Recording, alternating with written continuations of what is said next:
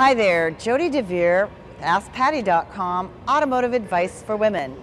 I'm here today at one of my certified female-friendly locations, Puente Hills Hyundai, to show you how to take care of and remove a cloudy, yellow, or musty looking headlight lens.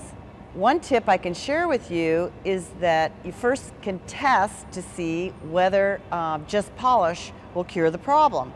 You can use a shop rag and a little piece of tartar control toothpaste, rub it on the lens, wipe it off, and if you start seeing improvement, you may only need to polish the lens. The other tip that I can give you is never use a household window cleaner on your headlight lenses. Things like Windex contain ammonia and using ammonia on plastic lenses will turn them yellow.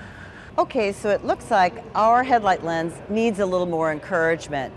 So we're going to use some household tools and products to take our cloudy lens and make it crystal clear. The first thing that you're going to want to do is take a bucket of soapy water and clean the lens and dry it. Then you're going to take blue painter's tape and go ahead and tape well around your lens to protect the paint and also any chrome that may be around your headlight lens. Next, you're going to use 600 and 1200 or 2000 grit sandpaper and wet sand the lens to remove some of the cloudiness and yellow.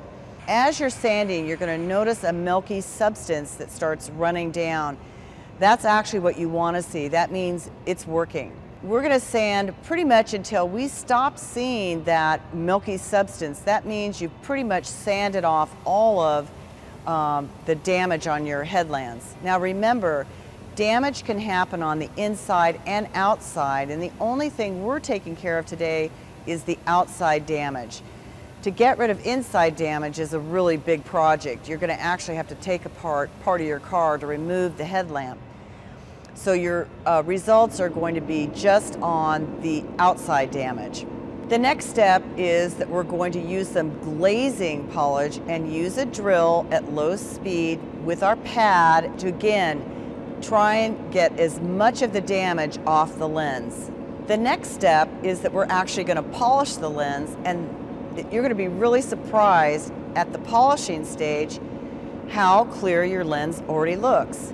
Evenly polish across, you might need to do it a couple of times, and there you have it.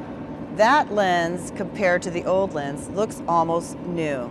Congratulations. One of the most important reasons you want to do this is for good visibility on the road.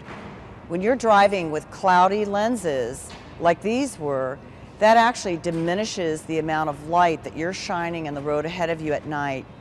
And it's very important to have clear visibility and as much light as possible through clear lenses. So it's really a good idea, not only for the cosmetic look of your vehicle, but also for good visibility to take care of your headlight lenses. And that makes you safe, smart, and car savvy.